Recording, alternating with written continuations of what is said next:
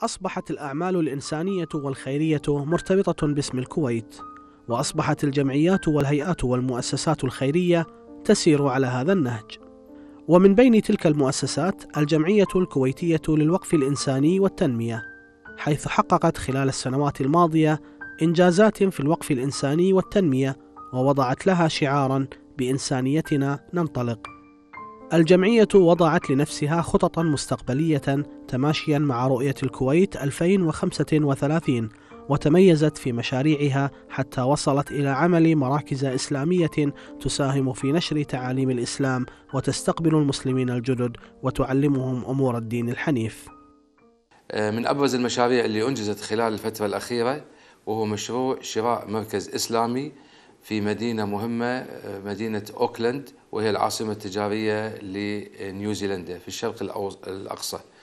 مدينة نيوزيلندا أو مدينة أوكلاند تعتبر من أوائل المدن اللي يؤذن فيها للإسلام أذان الفجر ويعتبر المركز اللي تم شراءه وافتتاحه هو يعني سيكون بإذن الله أول مركز كويتي يؤذن فيه أذان الفجر في أي دولة في العالم. المركز كبير في وسط العاصمة يخدم الجالية المسلمة والمسلمين الجدد في نيوزيلندا. نتطلع أن يكون له شأن إن شاء الله تعالى. من المشاريع المهمة اللي الآن اللي إحنا مقبلين عليها هو مشروعنا الآخر الكبير هو افتتاح أو بناء على أرض جاهزة. فرع لكلية نجحت وأصبحت جامعة الآن في السودان في الخرطوم. والفرع سيكون في ولاية كسلة شرق السودان. ولا تقف أعمال الجمعية عند هذا الحد بل إنها تواصل تقديم الوجبات الرمضانية كعادتها السنوية في المناطق المنكوبة جراء الحروب والأزمات. الآن إحنا نخطط إن شاء الله تعالى وبدعم من المحسنين أن نتجاوز المليون وجبة.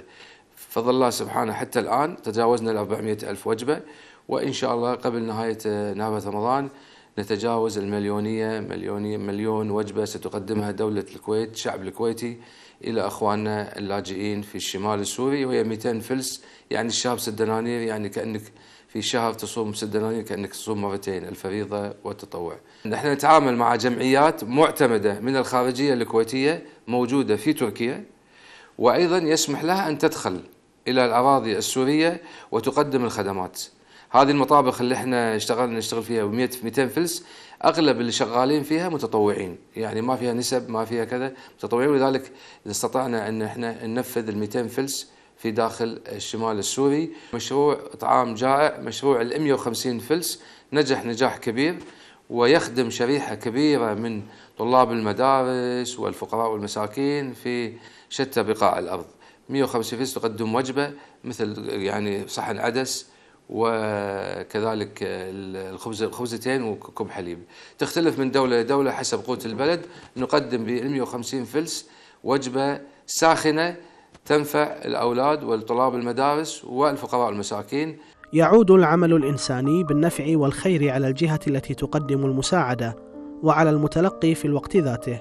فالعمل الإنساني يذكر بالقدرات والإمكانات ويذكر الجميع بالنعم المحيطة بهم قبل فقدها. لقناة اي تي في العدالة خالد الفارس.